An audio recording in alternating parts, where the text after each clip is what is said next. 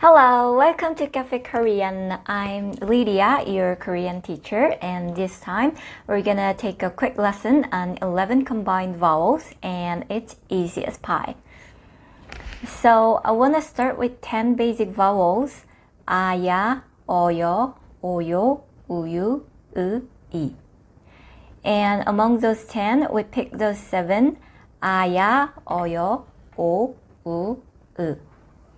And with the right side of this letter, E, it creates seven more compound letters. They are like 에, 예, 에, 예, 왜, 위, 의.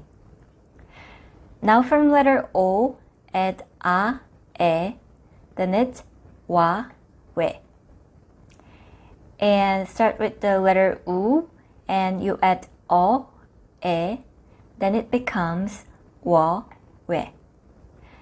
So now we got 11 combined vowels in total. 에, 예, 에, 예, 왜, 위, 의, 와, 왜, 워, 왜. So that's all for today. Basics are 10, combined are 11. So thank you for watching my video and I'll see you soon. 안녕!